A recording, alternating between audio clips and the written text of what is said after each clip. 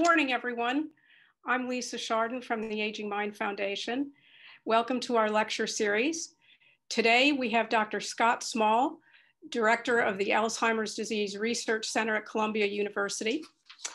His talk today is titled Therapeutic Implica oh my God, excuse me, implications of the smoke versus the fire in Alzheimer's disease. We're gonna hear from Mercedes Kerr, president of Belmont Village Senior Living, and Belmont Village Senior Living is our presenting sponsor. Hello, everyone. I'm Mercedes Kerr, president of Belmont Village Senior Living. I'm pleased to introduce this installment of the Alzheimer's Research webinar series with the Aging Mind Foundation. For almost 25 years, Belmont Village has been home to so many interesting, accomplished, and beloved residents, many of whom suffer from dementia or Alzheimer's disease. We strive to create purposeful, engaging, and joyous experiences for each of them and know that our evidence based therapeutic programs help them to live better, wellness inspired lives. We're always learning and continuously innovating to serve our residents' needs, so I look forward to this series. But before I turn it over to our speaker, I want to reiterate Belmont Village's commitment to those who are navigating this complex and difficult condition and to remind you that we're always here to help. I hope you enjoyed today's discussion. We're pleased to have Laree Hulshoff, founder of the Aging Mind Foundation, to provide an overview of our mission in finding a cure for Alzheimer's disease and other dementias. As the founder of the Aging Mind Foundation, it is my great privilege to welcome you today to our 2021 Aging Mind Foundation Lecture Series.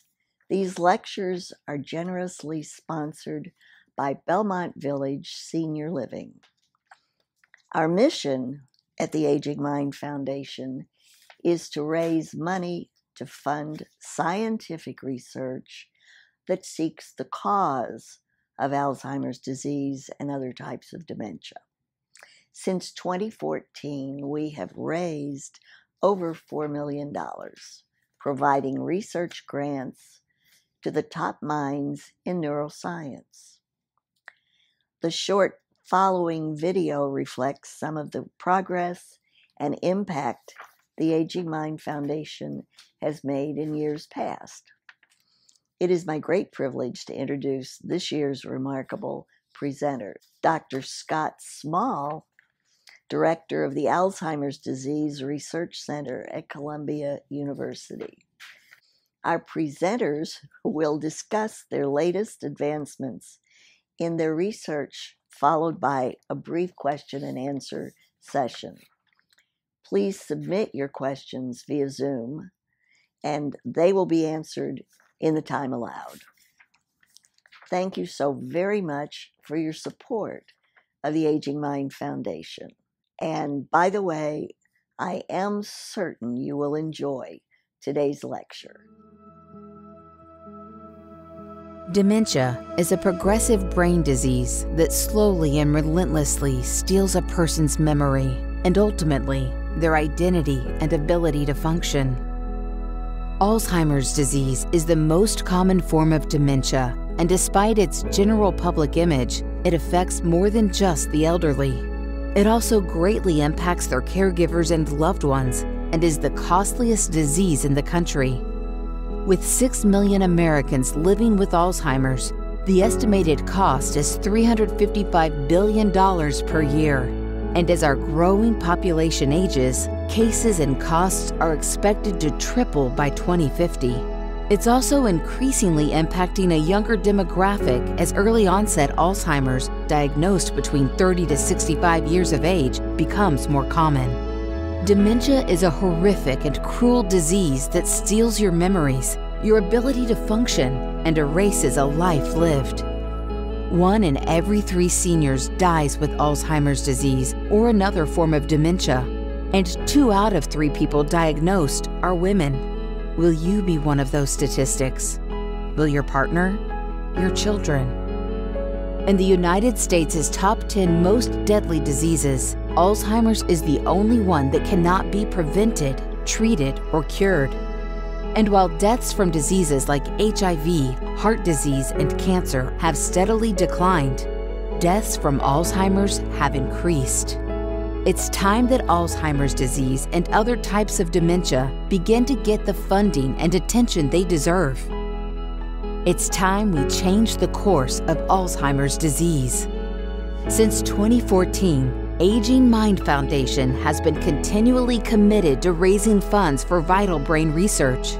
We're focused on funding research that seeks the cause of Alzheimer's disease and other types of dementia because we must understand the root cause in order to develop treatments and prevention. Partner with us, join us, donate.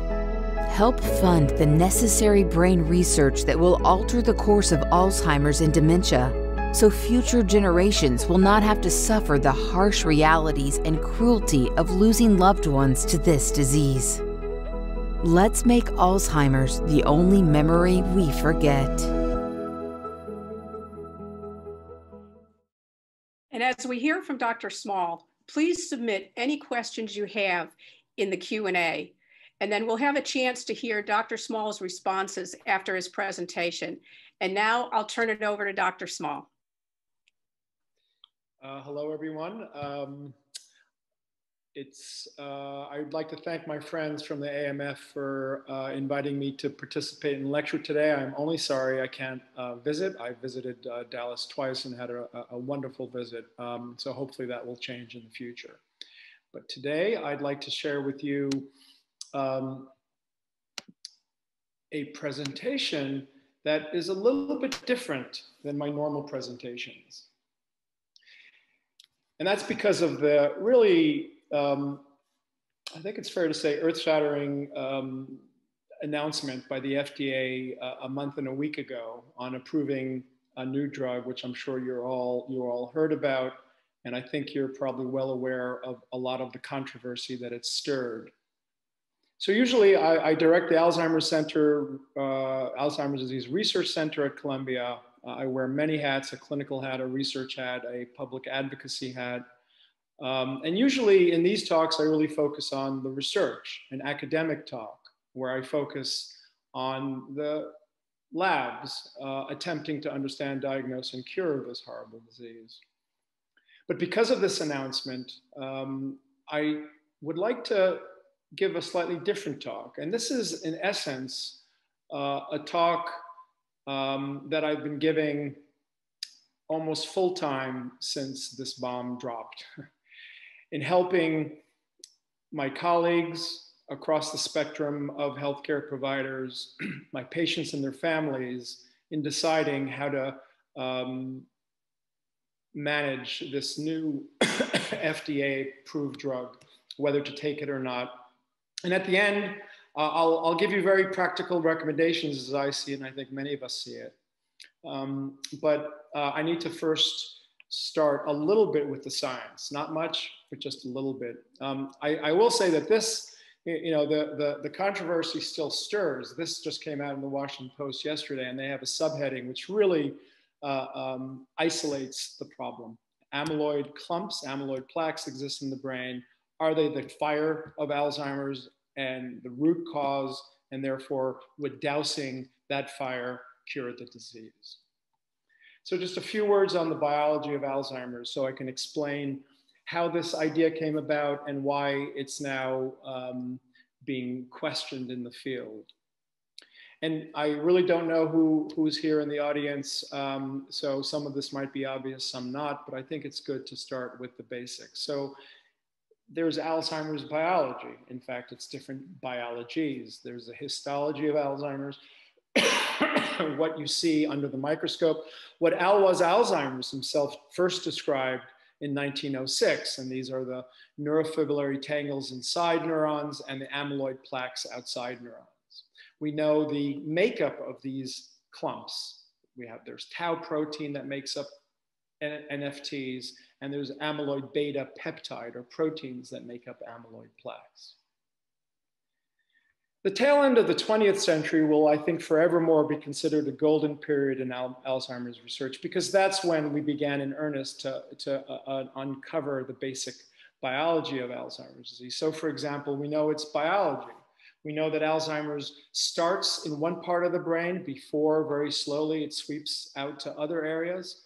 Uh, and this is illustrated here. It starts in the hippocampus, a region of the brain that is critical for forming new memories. And if, if any of you know people with Alzheimer's and you think back to the very beginning, patients with Alzheimer's aren't profoundly impaired. They really just have relatively mild memory complaints that is really emanating from the disease's source anatomically in the hippocampus.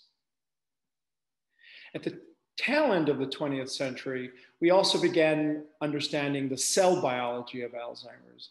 Again, I don't know what people know or what, that you, what, what you might remember, but cell biology essentially means that within every cell, including neurons, there are really different compartments through which proteins traffic. And it's that verb, that metaphor, trafficking, that we use in the literature. And in fact, it's a good one because one can think of trafficking inside neurons as sort of a train trafficking system with multiple stations. And it turns out that for neurons, Grand Central Station um, is a organelle illustrated here called the endosome, uh, and, it's, and it's fundamentally affected in Alzheimer's. And here's another illustration showing that the endosome has different pathways, uh, and it is fundamentally uh, dysfunctional in Alzheimer's disease. So at the turn of the century, this was this is a summary really of the state of, uh, of knowledge. Um, we, we, knew about these different biologies, but we really didn't know what came first, second, or third, how, what's really driving them, what's the fire that causes all these uh, um, manifestations of the disease.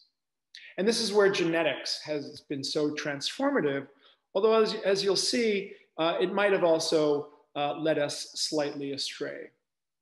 The reason why genetics are so important is because we know that Alzheimer's is a slowly progressive disorder. Probably by the time a patient sees me, they've had the disease for decades. So by the time we see them, either, either clinically or maybe uh, looking at their brains after death, we, there's a lot that has happened. And it's very, very hard to know what happens first, second, or third. What's the primary root source of it all? And of course, genetics is our uh, genes is what we're born with. And so if you can identify a gene that's causal, that truly causes the disease, that almost immediately means that it was there at birth and therefore very likely to have been a, um, uh, a driver of the disorder.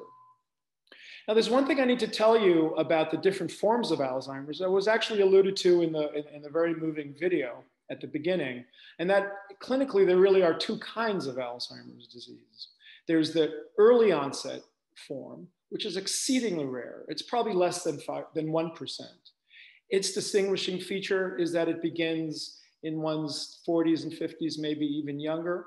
And this contrasts with late onset Alzheimer's disease. The vast majority of patients, if you know someone who has Alzheimer's, the odds are extremely high that they have late onset Alzheimer's, which typically uh, begins uh, manifesting profoundly in one's 60s and 70s. Now, these two bullets here are critical. They're, they're, they're genetic terminology, but they're critical because it turns out that this early onset form is autosomal dominant, which simply means that the structure of inheritance of Alzheimer's follows a very specific pattern with family, within families. And that's distinct from complex forms of disorders, which is late onset Alzheimer's, which is much more complicated. And the reason that's important is because once the genetic revolution hit and began entering biomedicine in the 80s and 90s, of course, geneticists were very interested in, in finding the genes that are linked to Alzheimer's. But it turns out that at the time, in the 1990s, the genetic tools that were available um, were not yet sophisticated enough to investigate what everyone really wanted to know. And that's what are the genes that cause late onset Alzheimer's. We now have that, and we'll come back to that, but it's relevant to amyloid plaques to say that the geneticist said, okay, well, I can't look at what we are most interested in. Let's look at this rare form because it might be informative. And this, in fact, led to the identification of three genes that are causative in early onset Alzheimer's disease. And um, it's really fascinating because what when if you want to know what these genes do, you need to express them. We can do that using modern biology techniques and neurons. We can express them in mouse models, and we can see what happens. Well, what happens when these genes are expressed? What happens most clearly is more amyloid plaques, less so neurofibrillary tangles. And I can tell you that this was really a heady period um, in the field at the time. I was a trainee. I remember going to meetings, and there was this real sense that Alzheimer's was, fig was figured out. Amyloid plaques is the upstream driver of it all. I'll come back to what happens when the genetics caught up with the complexity of the disease and we began identifying genes to late onset Alzheimer's disease. But what's relevant to the amyloid hypothesis, which has really driven uh, the FDA's approval and drug discovery uh, is the amyloid cascade hypothesis, which was articulated at the turn of the century. This might look complicated, maybe it is, but the, the main point is that the investigators relied on the genes of early onset Alzheimer's to say, well, this is just an early onset Alzheimer's. But insofar that we think that all Alzheimer's is fundamentally similar, can we extrapolate and say it's relevant to all forms of Alzheimer's? Disease. And therefore, they postulated the hypothesis that amyloid plaques, this is what this basically means, is the upstream fire. And this then triggers a sort of domino effect. It will cause the neurofibrillary tangles. It will cause cell dysfunction. It will cause cognitive impairment. It will ultimately lead to dementia. And this idea was so compelling. And as an aside, I, I should say that there's been a a lot of backlash against the amyloid hypothesis. I've uh, criticized it, but it was the right hypothesis at the time. Right now, it might not be, but it wasn't like this was a wrong hypothesis, although that's all it was.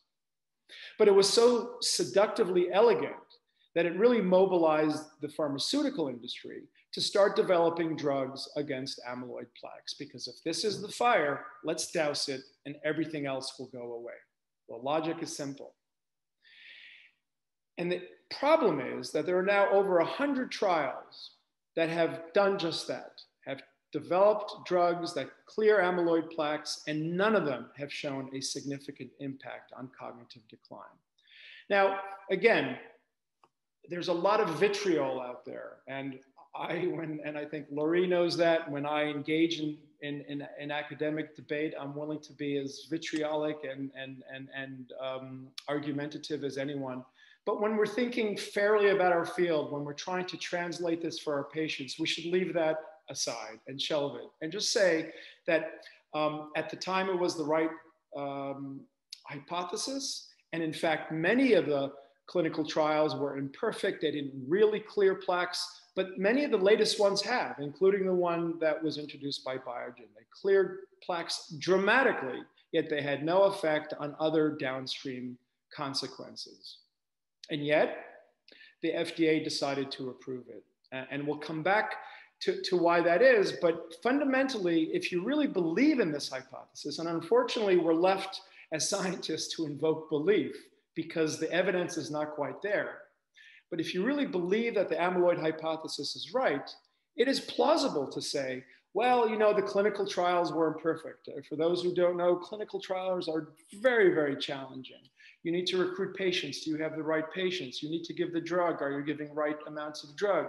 You need to make sure that you're clearing amyloids. That's, that's not always clear. You need to measure memory. That's a very messy measurement, right? It's not measuring weight loss. It's a lot easier. So there are a lot of excuses for why the, the, these clinical trials, or as they're sometimes called, the, the cemetery of 100 failed clinical trials, uh, don't see clear evidence of benefit, but they still might be if just the perfect clinical trial was performed. But what has happened in parallel to these failures is that an alternative hypothesis has been developed. Um, and I'll articulate one of them. So remember, Alzheimer's starts in the hippocampus and not in other areas. Remember, all the cells in, across our brains have the same genes. So why is it that this area of the brain is vulnerable and other aren't? Now, it's an easy question to ask, But until around 10, 15 years ago, it was very, very difficult to answer. The tools, again, the issue in science is technical innovation is critical. The technical innovation was starting to come online that allowed us to address that question. And invariably, when that question is asked, what turned out to be the answer were defects in the endosome, particularly a particular route out of the endosome. And that's called endosomal recycling. That might sound like a, like a complicated term, but basically it's recycling uh, stuff out of the endosome and it's governed by a, again, here's the metaphor of trafficking, by a, a conveyor belt or a train called retromer that takes things out of the endosomes and recycles it back to the cell surface. Now, I, I want to show this movie because I think I'd like this to be accessible to everyone. And I think it, it's interesting how endosomal recycling, this particular pathway, remember I said earlier, it's particularly important for neurons. Well, why is that? An answer emerges from this cartoon. So you know that neurons connect through synapses, neurons communicate, memory forms when that connection strengthens. And so what happens when neurons communicate is you have um, these firing of the synapses you have these proteins shown here that get internalized or endocytosed to the endosome. That's the endosome there. It then decides, do I send this cargo to be degraded? Do I send it down a different trafficking route? Or, wait for it, do I recycle the cargo back to the cell surface? And it's that recycling step that's critical for synaptic health and it's critical for memory. So insofar that tomorrow you remember anything from this talk, I can tell you with certainty that neurons in your hippocampus engaged in recycling to strengthen the connection between these synapses. So when these endosomal recycling mechanisms were discovered, linked to Alzheimer's, it seemed to make sense, but that's not good enough. It really was uh, dependent on the genes to really um, uh, argue that there's a true smoking gun that this is really causal. And so remember, I showed you this slide before.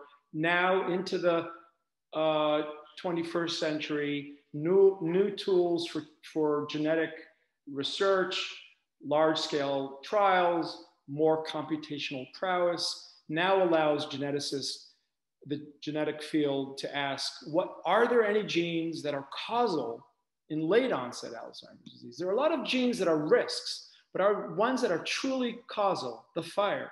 And it turns out there's only one. And it turned out to be one of the proteins that are linked to this trafficking route, the endosomal recycling pathway. So that, that seemed to be very, very compelling.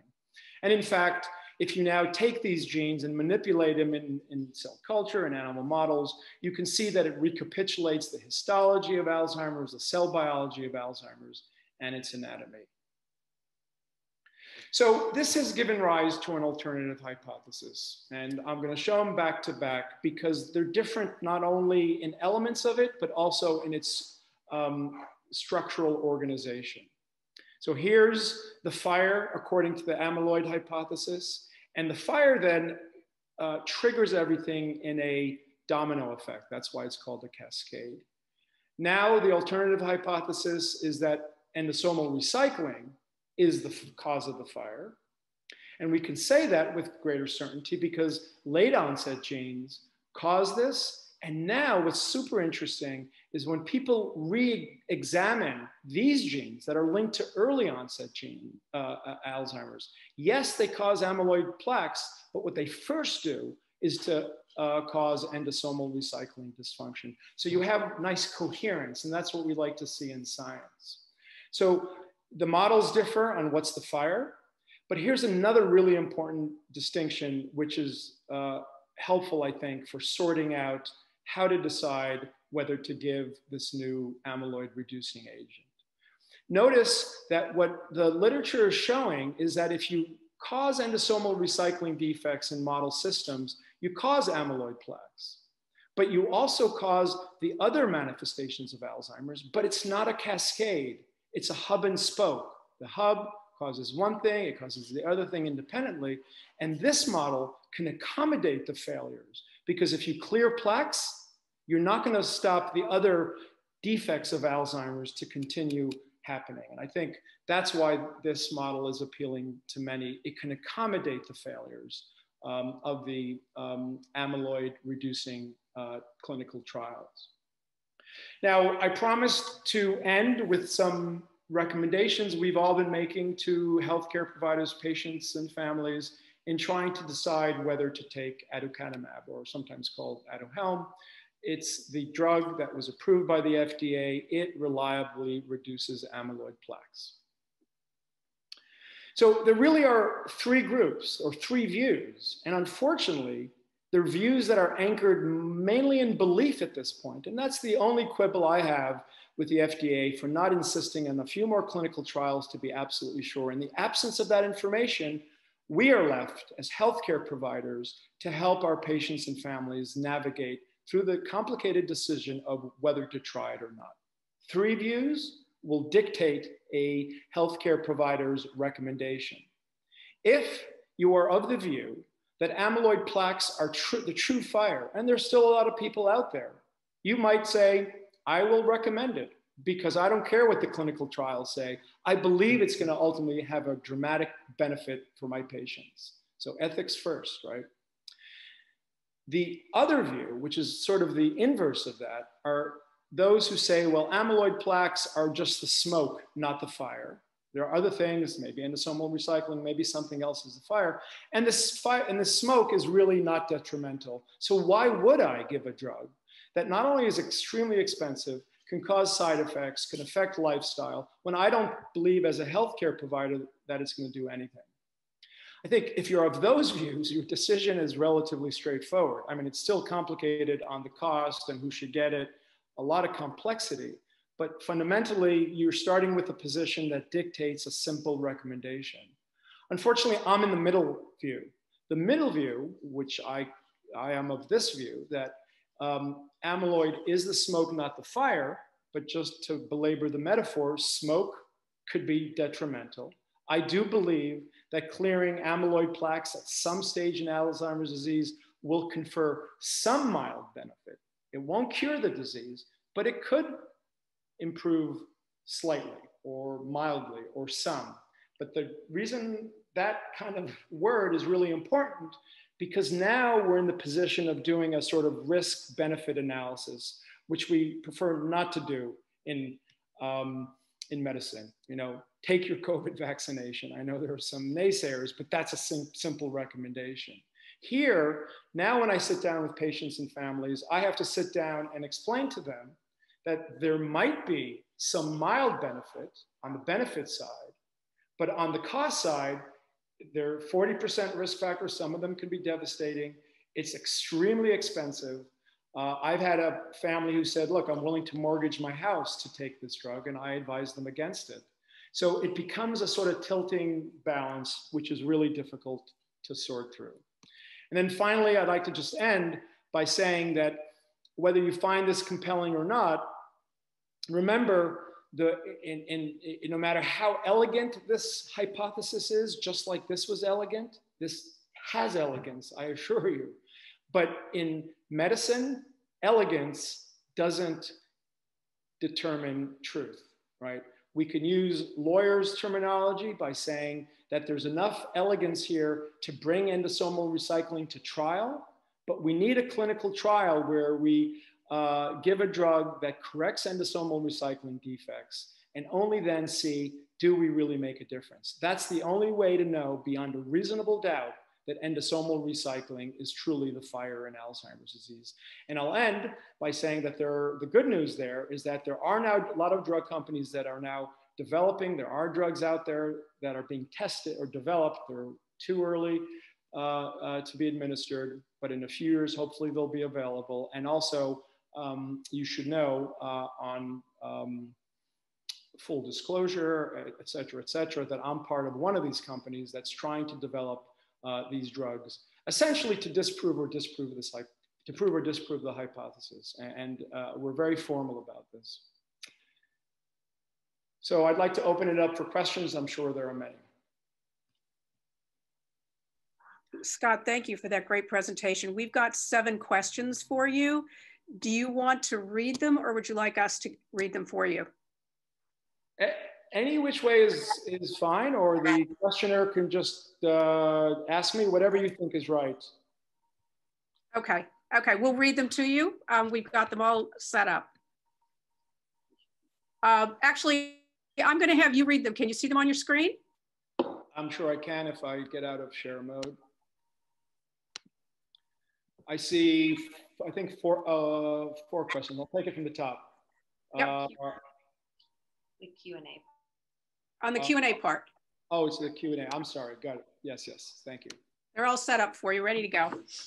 Okay, uh, so I'll read them for everyone, and I apologize if I misread. Uh, hi, my dad is, is in assisted living. My husband's job took us 400 miles away. It seems he seems to still recognize me, but he also seems to think my sister is me, and, and any male is me. He confuses me with my husband, I guess. Recently, he thought my brother was my husband. They look nothing alike. I call dad on grandpa a couple of times a week. My question is how crucial is it for me to make in person, to make in person, um, I think that might be a misspelling or I'm having uh, uh, uh, maybe in person visits, See, since he does not recall one minute later. I have three siblings. Okay, so if, if, if the questioner doesn't, doesn't mind, Beth, I think what you're asking is a really incredibly good question, and that is, it, particularly at a certain stage, uh, it's, it's when Alzheimer's truly becomes cruel, not so much to the patient, but to the family when they stop, when they stop, when they start forgetting loved ones. How does, how does one manage that um, behaviorally? By which I mean, I often have patients asking me, should I keep on correcting my loved one? Um, the one easy answer is never get frustrated. I see that a lot, particularly in the early stages, particularly among spouses. Um, there's a certain frustration because typically the patient, uh, you know, just 10 years ago was sharp and intact.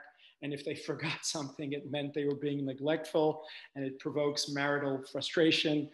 Or, and so I think it's obvious to say no frustration. This is not the patient's fault. They're not willful. They're not absent minded. This is the disease speaking.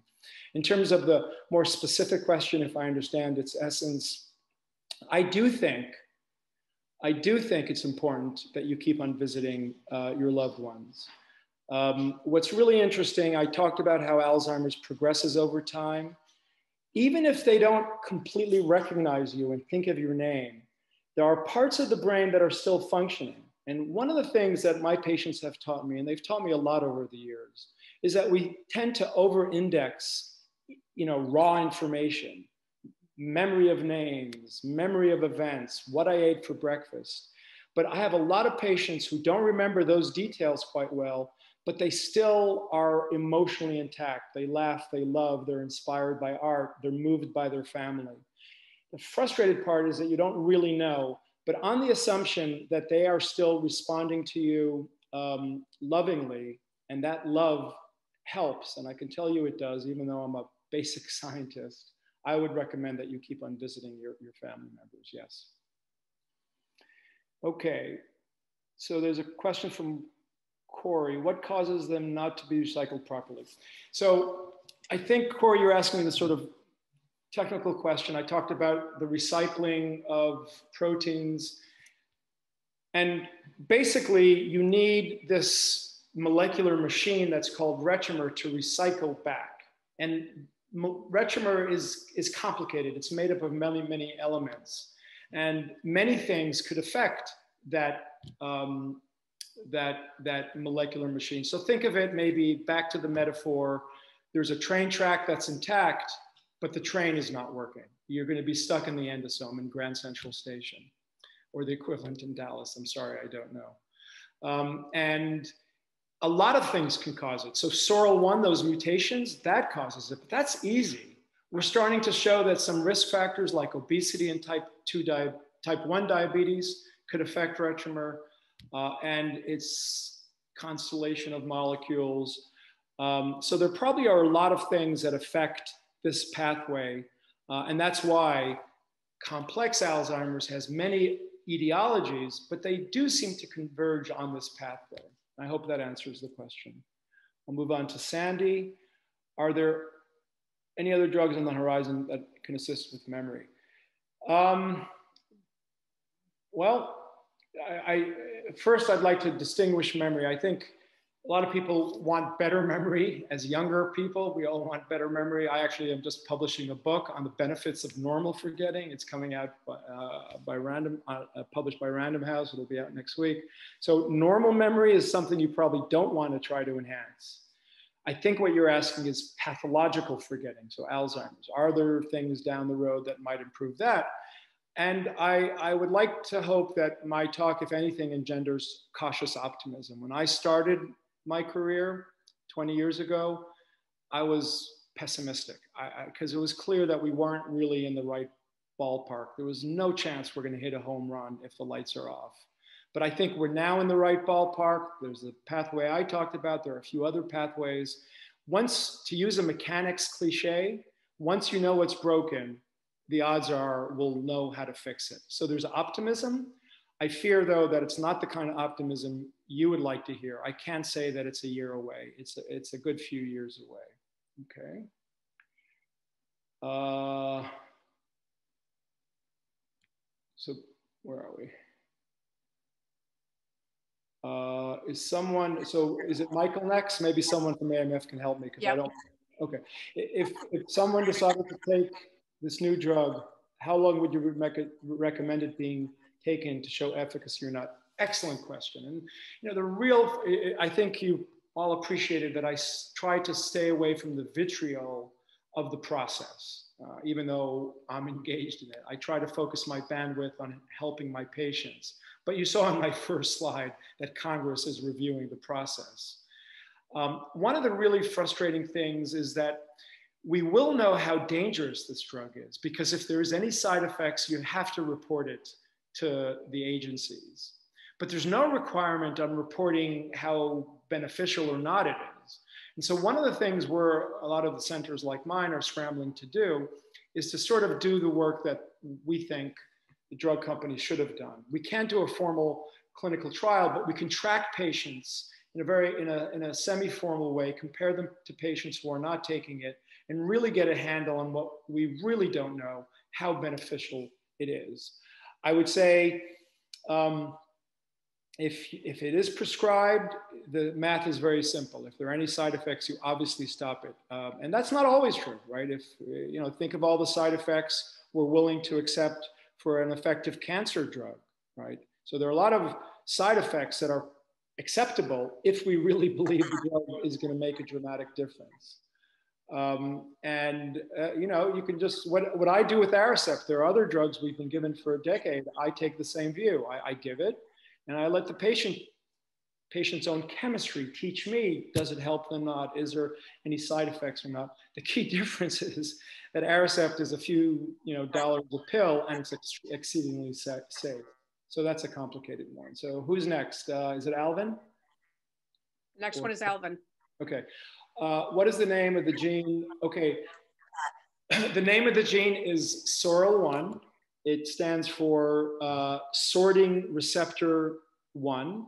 It's part of the endosomal sorting and trafficking. It's a receptor of that trafficking complex.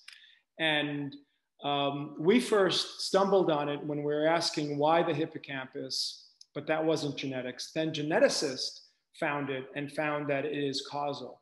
Maybe I could take this moment to say something quickly about the distinction between causal and risk genes. That's a complicated one and I, I, I think it's important, even though it's complicated. So um, many of you probably know that there are many things that are risks to what we do and many things that cause, right? So the, the, the, if I've used the, uh, the fire metaphor, a causative gene uh, starts the fire. A risk gene kindles the fire, but the fire needs to be there right? So there are a lot of risk genes that are interesting. You might have heard of ApoE or TREM2, and they might be good to target therapeutically, but they don't start the fire.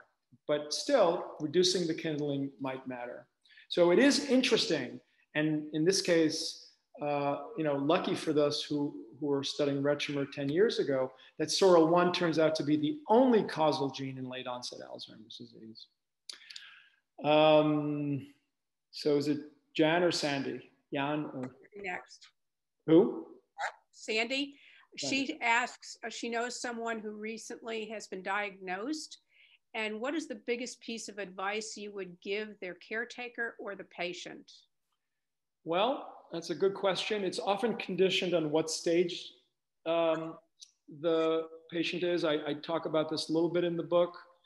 Um, it's surprising to me because I am a biologist who's trying to develop drugs that what turns out to be the most beneficial thing we can do with all our patients is what I call psychosocial management, which is helping them live their lives with poor memory. We don't really need our memory. We have our cell phones, we have family, we have healthcare providers, we have all the uh, uh, uh, nurses and staff that I, I'm feeling are watching. That's the most important way that I help my patients. Um, uh, I prevent my, pa my patients from really suffering from Alzheimer's. Most of my patients, if they're lucky enough to have loved ones, if they're lucky enough to have insurance, can live relatively fulfilling lives, particularly in the early stages when they have pathological forgetting. They get into trouble though when that forgetting causes them to forget to take their pills, to get lost while driving, to lock themselves out on a snowy night. That's the kind of things that we can really help them with. And that's the recommendation for all stages of Alzheimer's. Okay, Jan, what is the time frame of testing and potential release of new drugs based on the current research? Yeah, you know, I, I think doctors, for some reason, we borrowed this old Soviet five-year program. Remember the old Soviet Union would say, you know, in five years, we're gonna do, and there's something about five years that people like when they predict the future somehow because it's long enough that if we make a prediction, no one's going to remember and, and call, call us the task, but it's not too far that it engenders pessimism. I don't like that sort of five year unit because that's not the way biology works. What I could say is that if you're in the right playing field, there's real optimism that you'll hit a home run. I think it's easy to say that if you're not, you're never going to hit the home run. Is that home run a year away? three years away, five years away, I, I, really am reluctant to make that prediction. But I can really tell you with, with, with honesty that there's reason to be cautiously optimistic that in the next few years, there'll be meaningful changes. Okay. Richard, do you think the approval of Aduhelm is good for the future of Alzheimer's pharma development since so many prior compounds failed to reach approval? Excellent question. And since um, I told you that I am involved, in fact, I have been involved. Uh, I, I, sat on the advisory board of Johnson and Johnson. So I try not to kind of sit in my ivory tower and pontificate. I try to get dirty working with pharma because the good pharma want to do it right. And what's really interesting is that in many ways, despite all the controversy, this approval has had the silver lining of accelerating drug discovery for a lot of reasons. Some of them not excellent reasons, but in, on balance, I think uh, investors and companies are now re-engaging Alzheimer's disease because I think there's a sense that we're onto something. There's a sense that we can use biomarkers for approval. So that's a silver lining. It's not worth the confusion that ha it has engendered in my patients, however. Uh, Paul, you presented an almost autosomal dominant with regard to earlier. I have two copies of ApoE4, and I understand that I am greater risk of late onset Alzheimer's than my parents uh, were because ApoE seems to be a recessive trait. So um, yes, ApoE4 is a risk factor. So remember we made the somewhat simplistic distinction between causal genes and risk factor genes. So I will use that question to expand on what I meant. So ApoE4, even if you have two copies, which is not what you typically would want, is a risk for Alzheimer's. There are many people who are ApoE44, two copies, who don't get the disease. There are many people who ha don't have any ApoE and get the disease. That's different than a causal uh, mutation. If you have the causal mutation, you will get the disease. So that just makes a distinction. Now, within the category of risk diseases, you can then start asking, well, what is the risk? There are some genes that confer a 10% risk. There are those that confer a 60% risk. And ApoE is on the ones that increase, are in the higher side of risk. So yes, it is a concern. It's something you know you should track with your doctors and hopefully by the if if this if if you are unlucky enough where this will at some point in the future manifest uh, into alzheimer's maybe by then we'll have meaningful interventions. Scott thank you very much. Um, this was an excellent excellent presentation and the questions were great. Um, you mentioned that your book uh, is coming out. Would you like to tell us the name of your book and when it's going to be published? Sure, if you don't mind. You know, one, one of the hard parts of this book is that because it's I, my first time saying yes to writing a, uh, a, a, general science book, is that I have a publisher, I have an agent, I have a publicist, I have marketing, and it makes me feel uncomfortable on the publicity, but you'll see I'm getting over it by saying yes to your um, and that is, and I think it's an important book because everyone's worried about their normal forgetting. It's the inverse of what I do. It's an inter- it was an interesting book to read.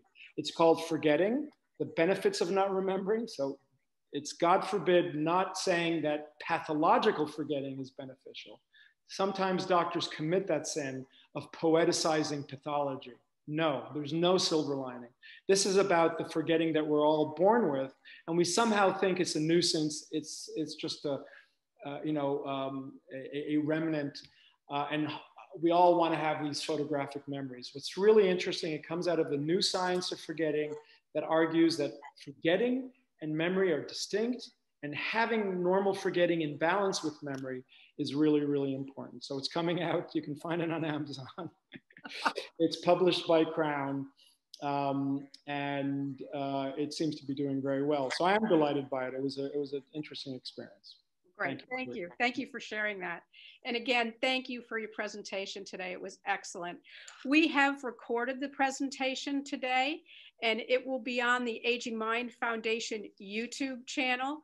Uh, it'll be on the YouTube channel by Friday, and it will also be on the Aging Mind Foundation website. Again, thank you for um, your presentation today, Dr. Small. Our next uh, lecture will be on September 14th, and Dr. Michael Rugg from the University of Texas Dallas Center for Vital Longevity will be our next speaker.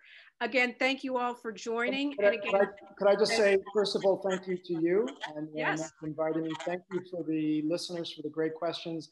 And let me make a plug for, for, for Michael. He's, he's one of the true geniuses in the area of psychology, of understanding how the mind works that relates to Alzheimer's. So I would not miss his lecture. He's a, he's a gifted speaker.